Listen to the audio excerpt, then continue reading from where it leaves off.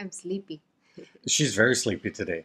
We went and saw Thor, Love and Thunder today. And I looked over and I'm seeing, It's nice and cold and, and dark, so why not? funny, funny, funny, exceptionally funny movie. I won't give anything away. yeah. So today's topic with Lyn Yeah. Let's go slow. go slow and be yourself. Right. I can't state that strong enough. There'll be a, an excitement when you get there. And again, I'm always going to come back to this. You have to be yourself and you have to learn the ropes of the Philippines. Right. Don't let yourself get dragged in. Mhm. Right? Yeah. So, what do we mean by go slow and be yourself? There will be enough of getting used to the Philippine culture, let alone getting dragged into bar hopping and all of that type of thing.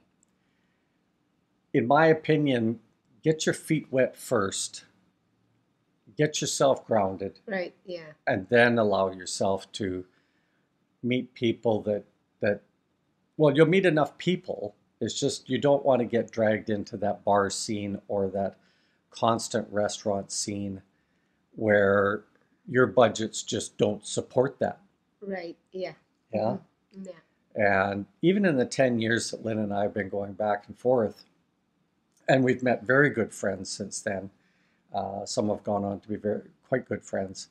And fortunately for us, the, the, these are people who we might not have been friends with in this country, but right. out of necessity, willing to, you know, bend our own personal rules a little bit. Right. And you want to be with other foreigners in order for you to, you know, know the place. Well, to know the place and stuff. Most But especially. I think yeah. the kicker is like we had a couple of Australians in the building that we were in and always bar hopping and always asking, but we kind of avoided a little bit of that in the beginning. It didn't didn't hurt our development of a relationship at all.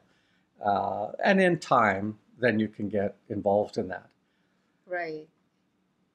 But what I want to caution you on is how much you can burn through money so fast, right? Yes, the budget. Yeah. The budget. hmm I mean, Yeah. Have, Lyn can tell you how much my budget typically was when we went there. yeah. Well, you have to set a budget for your monthly budget for yourself. You cannot just, you know, because you cannot just like blow all your money in one month or something. Yeah. Yeah. I mean, we. I think we live a fairly good life there. Yeah, we did. Uh, we give ourselves a budget of mad money of thirty thousand pesos a month or a thousand pesos a day. right. Yeah. You know, Mhm. and she's being calm about it now, but that's mostly because she's a bit tired. yeah, I'm still sleepy. But That's right. but yeah. she doesn't really like that and but we stick within that budget so if groceries are needed that day uh, then lyn goes off the green grocer and there goes that thousand pesos It's gone Yeah. okay and uh, uh, so in our way of thinking here's the thousand pesos she spends 500 500 goes to maybe the next day or or the next day that she has to shop then maybe i can accumulate another thousand pesos for That's right. a movie or Well, a beer or yeah. whatever. Well, but then that is if you are living in a rented condo with Right. you know with full you know full fixtures inside the condo, then you can cook your own food. Whereas if you will just stay in a hotel, then you have to just go to the restaurant all the time to eat your you know Yeah. meal like to have And- your meal. So And that drives home. costly. Yeah, yeah. it's costly, and it, Yeah. and it really drives home this need to have a a pre-trip, Right. or you've done enough travel that you've decided to go for a whole year, and then, but you've got to get into that condo as quick as you can. That's right. Even if in the preliminary it's going to cost you a little too much, maybe you have to get a fully furnished or or whatever because you want to get that one year under your belt before you make any final decisions. That's right, because we experienced that one too. Like the Yeah. first year that we were there, you know, we spent a lot because we we were staying in a ho- in a hotel, and then we have to eat out all the time because we don't have a kitchen, and Yeah. later on we found a condo.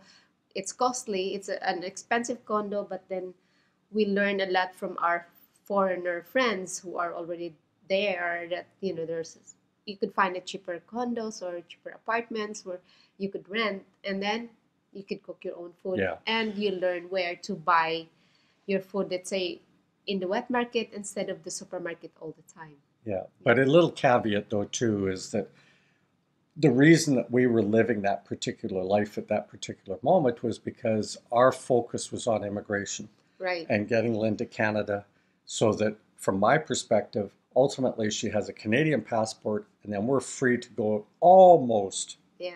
not everywhere in the world, but relative to a Philippine passport, almost anywhere. Yeah, without any.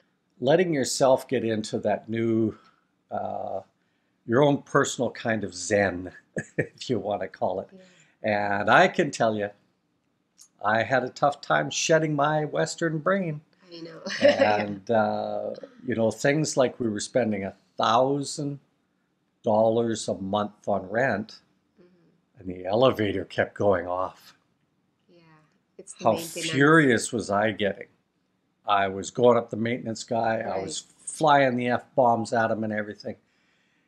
And upon reflection, this is one nice thing about the Filipino people. They just, they're relaxed. They just, Yeah. maybe a little too laissez faire. They just look at you and then they can't do anything anyway. So yeah, Yeah. even if you're furious, yeah, you're just you're just furious, but then they cannot help you. Yeah, and then Yeah. and then fast forward a couple of years, we meet a, a good friend who's since gone home.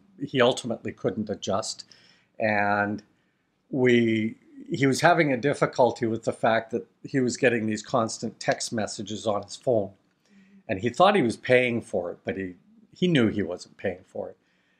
But so we took him down. We get him in front of the cell phone company, and of course they've got all of their their little cubicles and uh, you know, I sit back and let him talk his way through. And he did finally was he stood up, put his hands on there, and went, "Oh, for God's sakes, we were here for a decade or more, and we taught you guys English." And I just about grabbed his throat and went, "You didn't teach them any English. You came here for R and R." I was mad, but then later I had to remind myself I was there too. Yeah. And so it's not easy, guys. I, one of the reasons I'm doing these videos is I'm trying to give a sense of reality about going there. And I hear too many vloggers out there going, you know, with some fluff and puff and trying to get you, you know, yeah, do this and that will help you with this and this and this. But honestly, it is a different country Right. if you think that your embassy is going to re- re- uh, rescue you, I don't know. it won't happen. I don't A know. friend of ours, I've mentioned this before in the health part of it Right. with the hospitals. He ended up in the hospital. Do you think his embassy rescued him? No way. If you're He had to get back to his country I to get proper yeah. care and where he was going to be covered. And he couldn't get back. The Right. embassy said, "No way! You go pay your debts, and then we'll help you get back to your Right. to I think home." if there is a calamity in a particular area in a country where you are in, or any, like, let's say, for example, what happens to COVID, some countries are repatriating their, you know, citizens back into their home country so that they could go home. But you know, if you are you you alone gets into trouble, I don't, I doubt it. I doubt it. yeah. Like if, especially if you that go was a there, really rare one-off. if you and go yeah if you go there Yeah. as a tourist then it you go there on your own will you are Yeah. not there for, because the your country is sending you to do something no, you're the embassies that are there.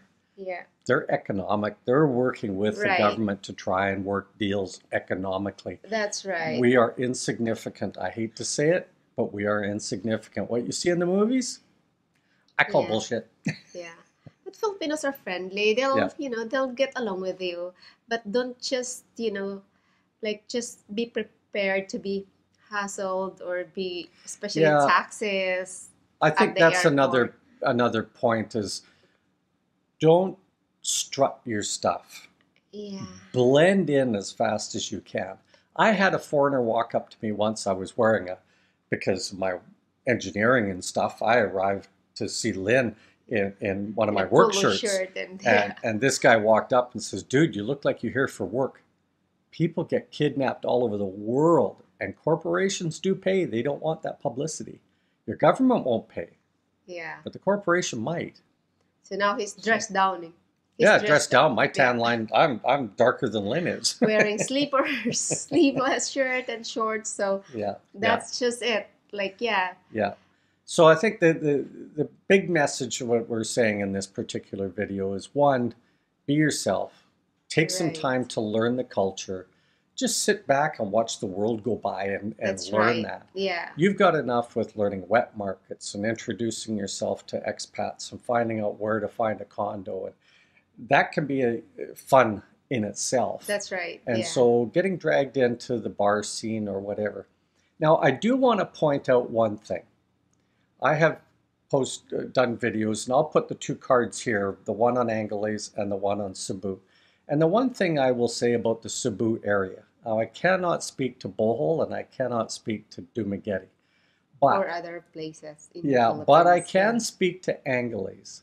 Their English is not as good as what it is in the Cebu area or the, maybe the whole Visaya area. Well, in Cebu, in the city alone, you could expect that people will speak to you in And English. helpful Yeah. guys. How many times have we walked up to a guard because you don't know the area Yes. and the guard turns around and says, "Oh, it's just this way, this way." So all they want to have you do is go away. yeah. But you know, some people are helpful. Yeah. You know, you just ask them, "Do you know somebody who could speak English that I can talk to and ask this question?" They would gladly, you know, Yeah, help you. But I with think that. that's the difference between the guards, let's say, Yeah. in Cebu and the ones in Angeles. Uh, Yeah. You got to remember that Angeles is importing people from all over the Philippines that are ready for the hustle. Okay. right. And and I think that's why you find so many expats probably started 20 years ago that flocked into Dumaguete and it became a hotbed. Yeah, Dumaguete also like you know the education there is also good. Like people could speak English as well. Nice, one of the nicest and cleanest city that you know. Yeah. They have there. a wonderful boardwalk there. You Right. got to remember it's a very Boulevard. small city It is. and it has a good university, right? Silliman University is one of the And- best, and- and, yeah, But and- again, on the hospitalization, especially I think some of this uh, defined clinical stuff that you might need Yeah. later in life, be prepared that if, if Dumaguete uh, or Negros is the island you want to be on, right. uh, know your roots back to Cebu because that's where your hospital or Yeah. your clinical stuff. Right. Either you could take a plane or it's just like I don't know if there's No, a plane there's- from from Dumaguete to Cebu No, because there is an, an They're all taking ferries, Lyn. But Yeah. the best thing you could take is the ferry. There's a Yeah. fast craft that goes from Cebu to Dumaguete. I'm not sure if it's ever Is it? now. There is because I was Oh, working in oh, Dumaguete okay. before, and it's like you I don't two think companies I don't think that it's running right now, or maybe it's just going back again. But some of the videos after COVID. just know. after COVID, everybody was having to go just that little hop across and then grab a bus. yeah, and it's like oh, three. Yeah, Got you in the eye, didn't I? and it's just three and a half hours for a fast craft to go. Yeah, if you're Yeah. going all the way. It is one of the main reasons that I really, really strongly feel that you need to get to Cebu. Uh, Right. You have Bohol there. For sure, that's a fast craft. Cebu is a in. hub, so And, yeah, and it's a major hub without having to get entangled in that whole monster city that Manila is. I want to point out the the the infrastructure in Cebu and the Philippines as a whole. It's great. You do not need to own a bike. You do not need to own a car. We were we've been there for 10 years and again if you shed a little of that anxious Yeah. western high-paced life if you shed a bit of that you go down you know where the V-hires are you get on Yeah. there again Taxis, you might need V-Hire. to you might want to book two seats we've done that many times That's right. So if you Yeah. don't want to be, you know, sitting crowded. beside a local or something, buy two seats. It's cheap. yeah. Yeah. or if you're by yourself try and get the front seat wait Right. for wait for the next V-hire they're always leaving The, the drivers of those V-hires or buses, they would gladly take you, put you in a front seat or something Yeah. because foreigners there are VIPs. yeah. well we've had that happen when They we've gotten on a bus yeah. we ended up doing a 44 hour on the bus From From Tacloban Leyte- City to Manila. Yeah, from Leyte to Manila.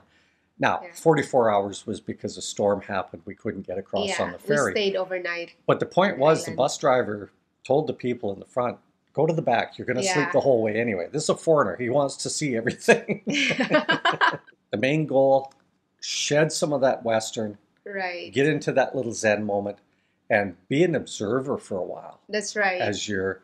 You know, sitting in McDonald's, introducing yourself to Westerners, and just be friendly. Yeah. Yeah. I mean, if you ran into us and you said to us, could your wife or, or do you know of somebody that could help me Yeah. understand the wet market?